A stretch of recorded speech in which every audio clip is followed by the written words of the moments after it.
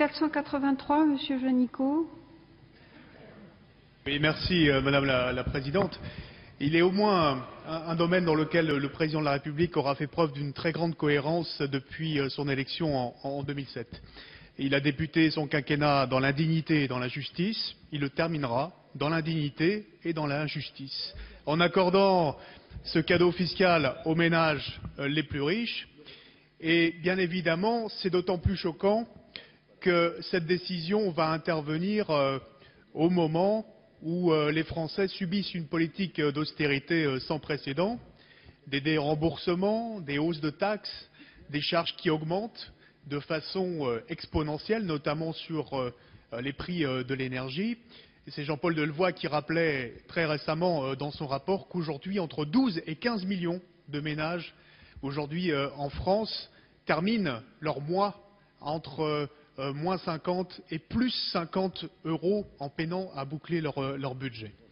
Alors bien évidemment, euh, c'est d'autant plus choquant au moment où les Français voient leur pouvoir d'achat régresser, où vous demandez sans cesse de nouveaux efforts, vous leur demandez sans cesse de se serrer la ceinture, de faire des sacrifices nouveaux, et puis surtout au moment où les chiffres viennent en témoigner, les inégalités de patrimoine explosent dans ce pays.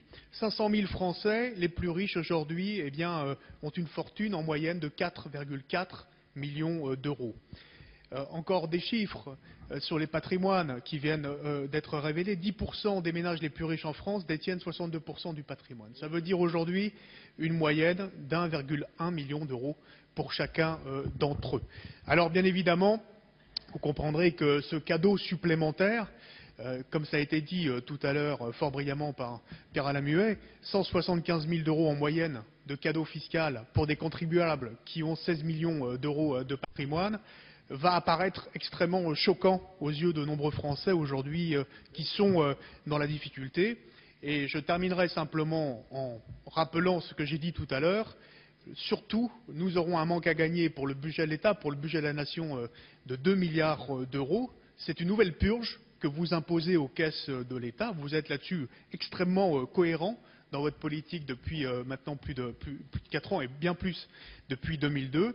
Je crois que vous ajoutez à l'inconséquence de votre politique une forme d'irresponsabilité que vous paierez.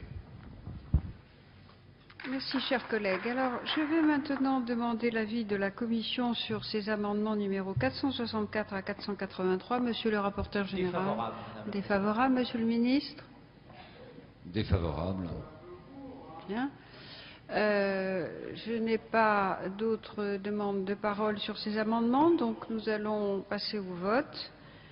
Qui est pour les amendements 464 à 483 Qui est contre? Les amendements sont rejetés. Je, une suspension de séance, cinq minutes, Monsieur le Ministre?